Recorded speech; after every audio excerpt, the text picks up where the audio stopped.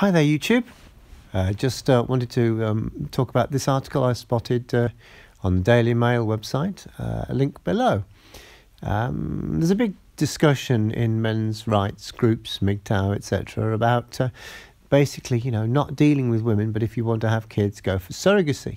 Um, I don't know how many people are aware, but in the UK, basically, it was illegal. Uh, not specifically illegal to have a surrogate, but to not you weren't allowed to have a surrogate to, to use a surrogate for a child if you weren't part of a couple, which of course would cause issues if you were a single man deciding you would like to have a child.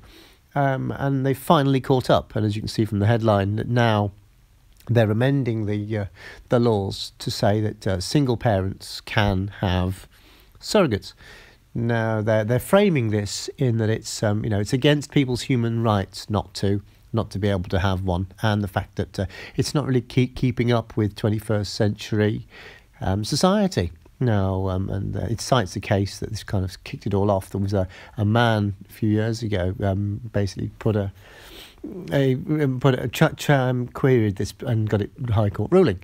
Um, what I personally think it is is I think it's true that basically that's all about um, single people not being able to have families, and they've discovered or realised the huge amount of hypocrisy that you can't. That they say, oh, you can't have single parent families. No, no, no, no, no, nobody. You can't have a single parent family. It's terrible. And then they look around at all the single parent mothers, uh, single mothers in the in the country, and they look, well, you know, how can we have a piece of legislation that says a one-parent family is just, you know, impossible and destroying the uh, the family, etc., um, and yet let women do it, um, but you can't let men. And I think they finally, I would like to think they've realised the hypocrisy of it, but I suspect what's happened is there have been some cases that we're never going to be told, of course, that um, infertile women have wanted to have children through a surrogate and have been told no. So, you know, then you've got these women who have said, well, you know, single parent mother who's fertile can have a child.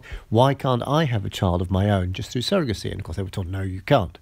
Um, and I think this is probably a case of they weren't able to legislate to to remove the ability, or not to remove, to give the ability to infertile single women but not to at the same time give the opportunity to, to, to single men.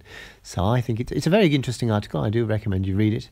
But um, I, I do believe that it's, it's created and happened because um, it's because women have wanted it. It's not mentioned in the article that that is the case, but I suspect if we dug any deeper, this would have happened because women have demanded it. Because as we know, you know, nobody cares about about men wanting anything. It only things only change when when women when women want them. But uh, I, yeah, I thought it was an interesting article, and I thought I'd bring it to uh, people's attention.